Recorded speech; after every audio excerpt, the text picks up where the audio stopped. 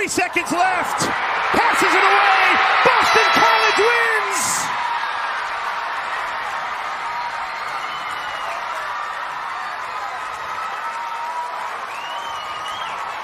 And our final for Boston College 14, Northwestern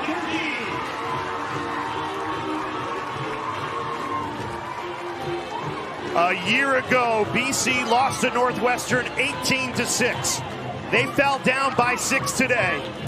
Battled back.